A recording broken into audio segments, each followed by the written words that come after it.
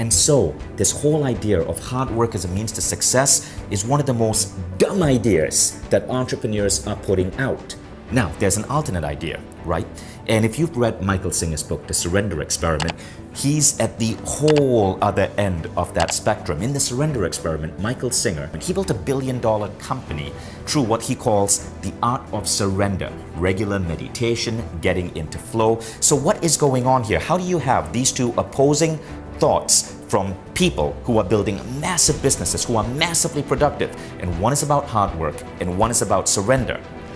In my theory, I suggest that there are four different levels of consciousness. And if you're at the first level of consciousness, you need hard work.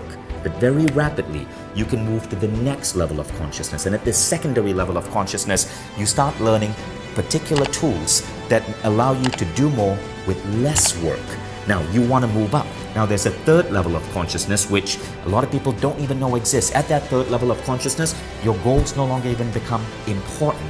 At that third level of consciousness, you're tapped into something else. And there's a fourth level of consciousness, which is where some of the most remarkable people in the world I've seen play at. And they just seem blessed by luck and they are not breaking themselves with hard work. So in short, this binary idea, hard work versus versus surrender, is not really binary. You can flip it around and what you need to do depends on what of the four level of consciousness you're currently operating on.